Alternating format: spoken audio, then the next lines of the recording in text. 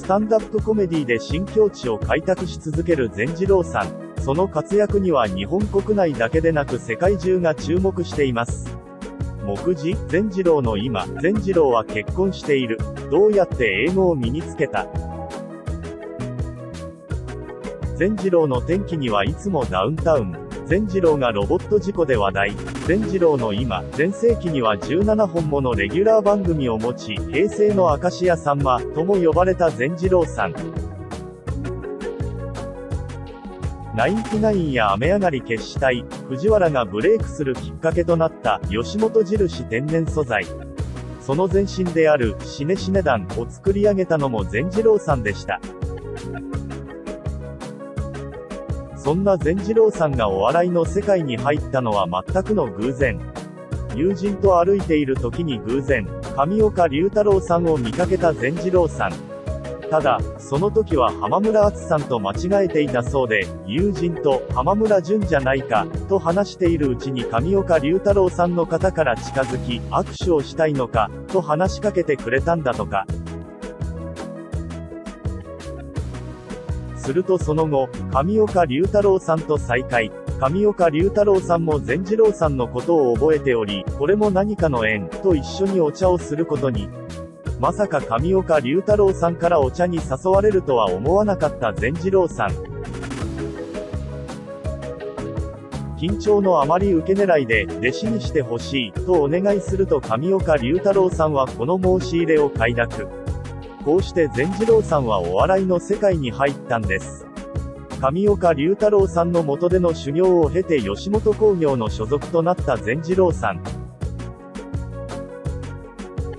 そして1988年に同じく吉本興業に所属していた月亭要さんと、要善次郎を結成。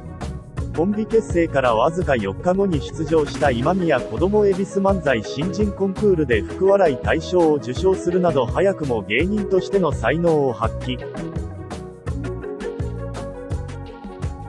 その翌年には ABC お笑いグランプリで最優秀新人賞を受賞したことで一躍若手の注目株となります。その後も多くの賞レースで輝かしい結果を残した、要、善次郎。ところが急に注目を浴びたことで月亭要さんが精神的に参ってしまい1989年にコンビは解散。それ以降、善次郎さんはピン芸人として活動することとなります。ピン芸人となってからは深夜ラジオで活躍するも独自の笑いを追求するあまり暴走気味に。その結果、スタッフから嫌われ番組を降板する事態に追い込まれてしまいます。その後も細々とながら活動を続けていた善次郎さん。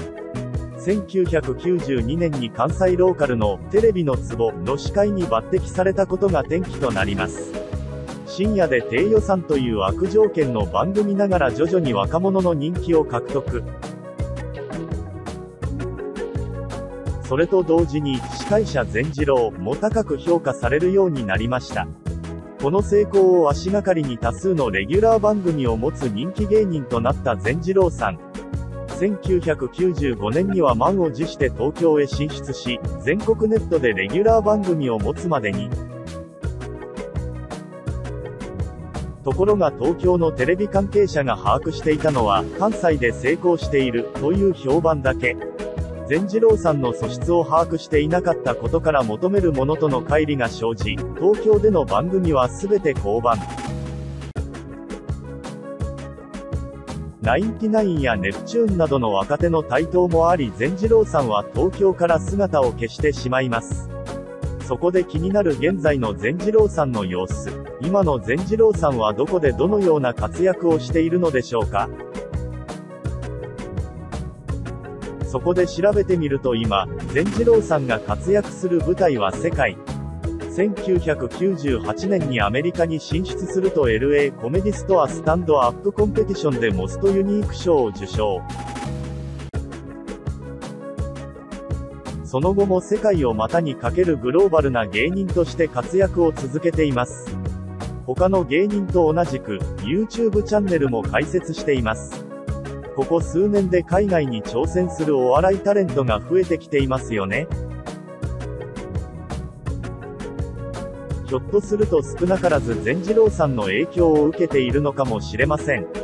海外に活躍の場を広げたパイオニア的な存在である善次郎さん。その活躍ぶりと影響度は過小評価されていると言っても過言ではないでしょう。善次郎は結婚している。コメディアンとしての才能が世界中で評価されている善次郎さん。そのため世界各国に善次郎さんのファンという女性がいるはず。そこで気になるのが善次郎さんの結婚歴。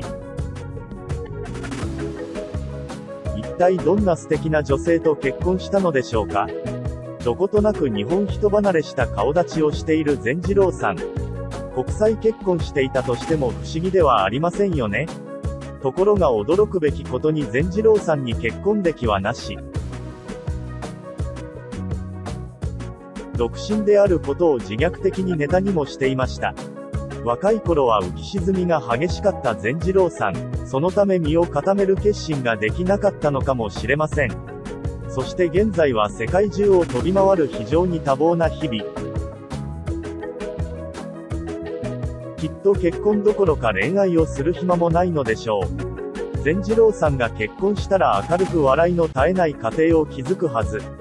忙しく働く善次郎さんの身も心も癒してくれる素敵な女性が現れることを願わずにはいられません。どうやって英語を身につけた？日本においても日に日に重要性が増している英語力。今となっては一流企業に就職するためには英語で日常会話ができるのが最低限のレベルとも言えるでしょう。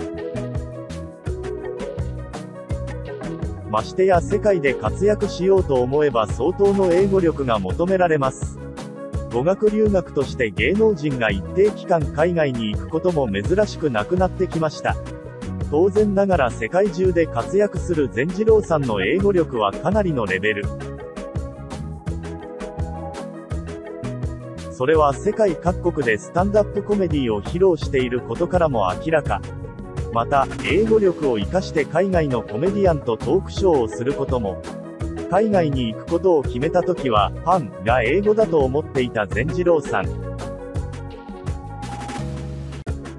そのレベルからスタートしたにもかかわらず今では英語がペラペラ。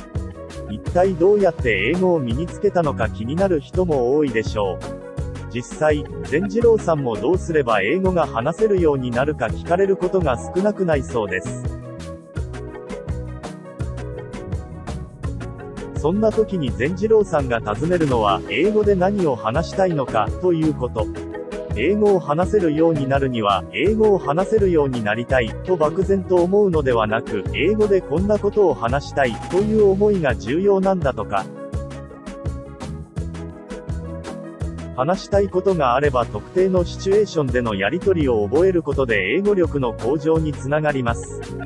そして覚えたフレーズを使う場に身を置く、という行動にもつながっていきます。頭で考えるだけでなく行動に移すことが大切。自分の体一つで今の地位を築いた善次郎さんの言葉だと重みが違いますよね。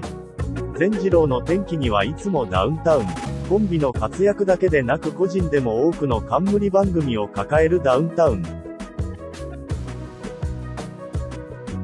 お笑い界はもちろん、芸能界全体に多大な影響を与えていることは間違いありません。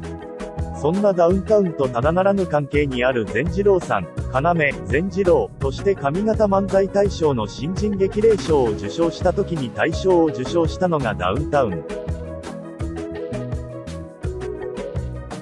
また、吉本印天然素材の前身である、しねしね団を結成するきっかけになったのもダウンタウンでした。当時、震災橋筋2丁目劇場に出ていた善次郎さん。ところがこの時のほぼ全ての客が目当てにしていたのは、ダウンタウンかダウンタウンと仲の良い芸人。それ以外の芸人がステージに立っている時にはトイレに行ったり、お菓子を食べたり、漫画を読んだりと失礼な態度をとっていたそうです。これに腹を立てたのが善次郎さん。こんなに面白いのに笑わない客は死ね、という思いから結成されたのが、死ね死ね団でした。そして、ダウンタウンのガキの使いやあらへんで、で浜田雅俊さんの黒塗りメイクが、人種差別では、と話題になった時のこと。海外で活躍する善次郎さんのコメントが週刊誌等で大きく取り上げられました。この報道を見て善次郎さんが海外で活躍していることを知った人もきっと少なくないはず。善次郎さんが再び注目を集めるきっかけとなったのは間違いありません。このように善次郎さんの転機には常にダウンタウンの2人が、ここまで来ると全くの偶然とは思えませんよね。善次郎がロボット事故で話題、新たな可能性を求めて様々な挑戦を続ける善次郎さん。海外進出もその一つですが、もう一つ大きな話題となったことが、それはロボット漫才。2015年にロボットのペッパーと漫才を行う、ペッパーズが話題となりました。ですが善次郎さんがロボットと漫才を行ったのはそれから約10年も前のこと。ロボットのパペロと、善次郎パペ次郎という漫才コンビを結成した善次郎さん。人間とロボットのコンビは世界中で大きな話題となり各国からオファーが舞い込んだそうです。そして、善次郎パペ次郎は日本で最大級の賞レースである M1 グランプリにも果敢に挑戦。ところがハプニングにより1回戦落ちとなってしまいます。そのハプニングとは、ロボットとの漫才は漫才ではない、ということ。そもそも、漫才でない、のであればエントリーすら通らないはず。エントリーは通しておいて、漫才ではない、なんてひどい言われようですよね。善次郎さんはこのハプニングを今も根に持っているそうです。全く予想だにしていなかったハプニング。ハプニングというよりも事故といった方が適切かもしれません。ただ、2015年に M1 グランプリに出場した、ペッパーズの2人は1回戦を突破しています。善次郎さんは時代を先取りしすぎたようですね。ようやく時代が善次郎さんに追いついた、とも言えるでしょう。本日のアクセスランキング。